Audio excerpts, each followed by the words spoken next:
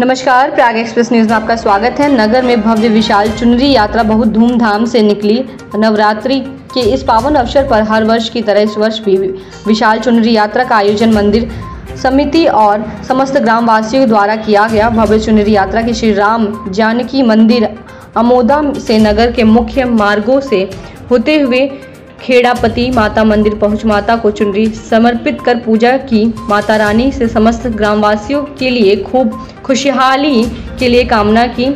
दो साल से कोरोना काल की वजह से कोई भी त्यौहार ठीक ढंग से नहीं मनाया जा रहा था, पर जब कोरोना जाने से लोगों में मन में हर्षोल्लास के साथ नवरात्रि के इस पावन अवसर पर चुनरी यात्रा में समस्त ग्रामवासियों ने माता रानी को मनाने के लिए उनके चरणों में अरदास लगाई।